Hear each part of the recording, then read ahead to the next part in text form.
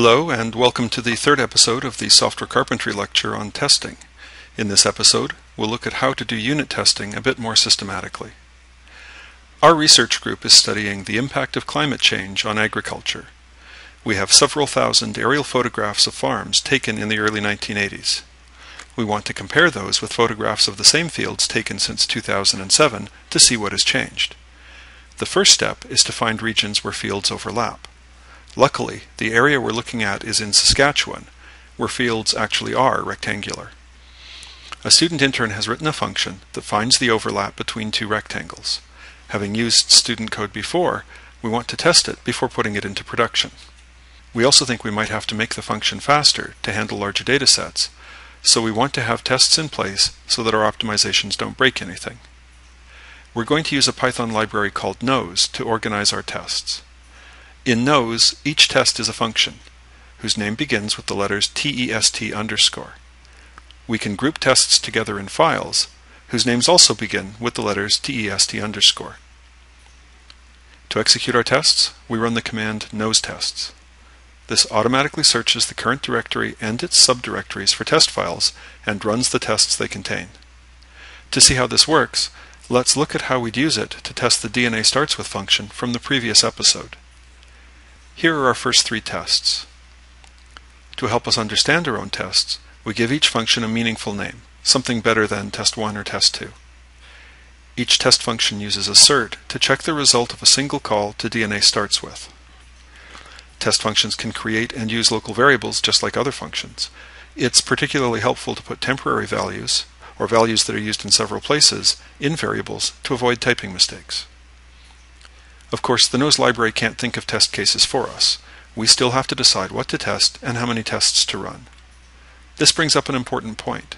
We know that we should test lots of different cases, but how many is lots? It turns out that's not actually the right question to ask. A better question is, how can we choose tests that are worth writing and running? For example, if DNA starts with ATC A works, there's probably not much point testing DNA starts with TTC T. It's hard to think of a bug that would show up in one case, but not the other. We should therefore try to choose tests that are as different from each other as possible, so that we force the code we're testing to execute in all the different ways it can. Another way of thinking about this is that we should try to find boundary cases. After all, if a function works for 0, 1, and a million values, it will probably work for 18 values. Let's apply this idea to our overlapping rectangles problem. Here's a normal case, two rectangles that overlap by half in each direction. What other tests would be useful? Take a moment and see what other tests you can think of.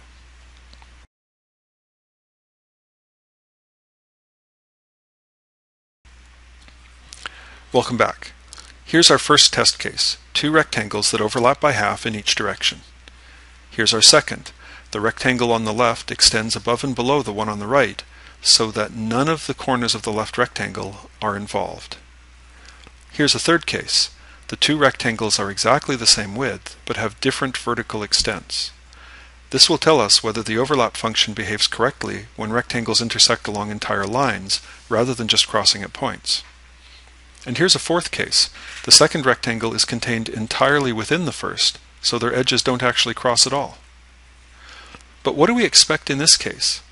How should the function behave if the two rectangles share an edge, but their areas don't overlap?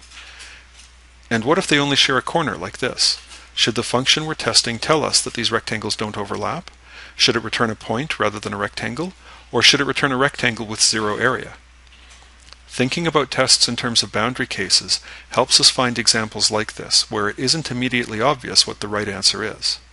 Writing those tests forces us to define how the function we're testing is supposed to behave, i.e. what correct behavior actually is.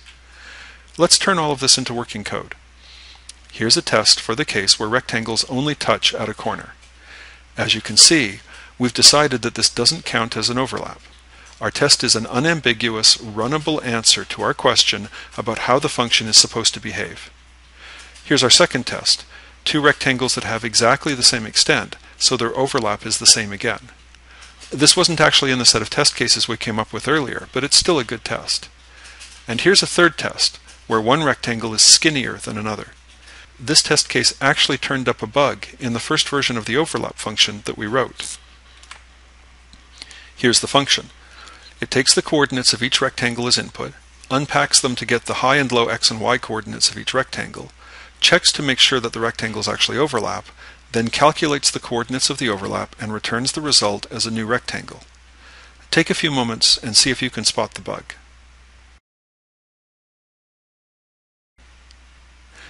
It's here. We're comparing the low y coordinate of one rectangle with the high x coordinate of the other. This bug is probably the result of copying and pasting.